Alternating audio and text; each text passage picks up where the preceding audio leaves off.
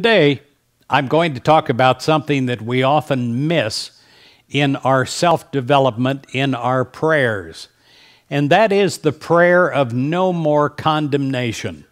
Living a life where you don't condemn anything. So often, in immature human mind, we spend our days condemning. I've lived that way, and so have you.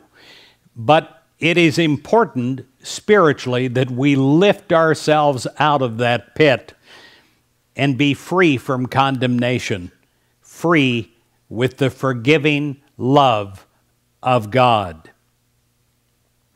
If you're in a trying situation, you may have fleeting moments of condemnation for another person, or you may condemn some situation or company.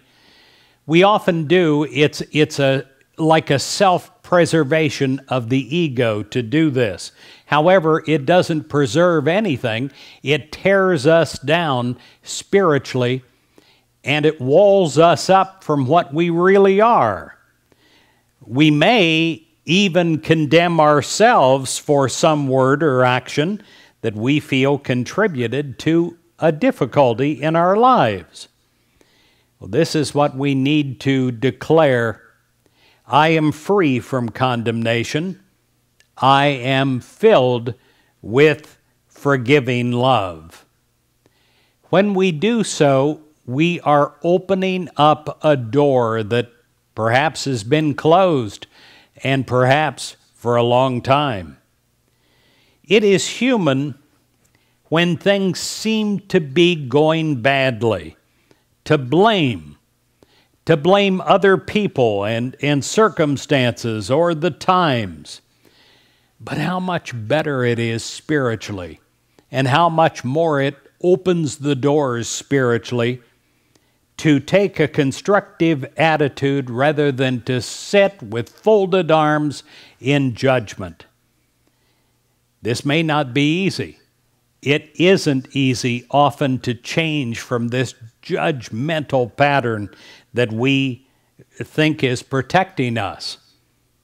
But it is the way of growth spiritually to learn to meet situations without condemnation is to experience the fulfillment of God's good in our lives.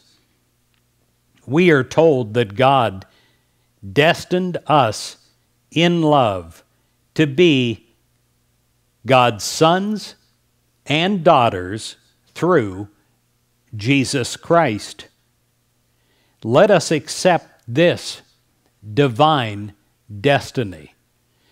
And not just in a vague way, accept this for yourself that you have a divine destiny for you. Let us be as loving as God is loving. You think that's not possible? Well, begin to try and do it today. Let us be as forgiving as God is forgiving.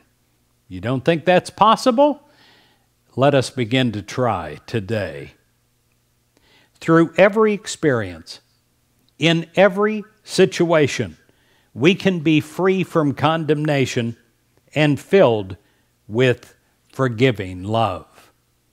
God bless you, my friend. Have a wonderful, non condemning day.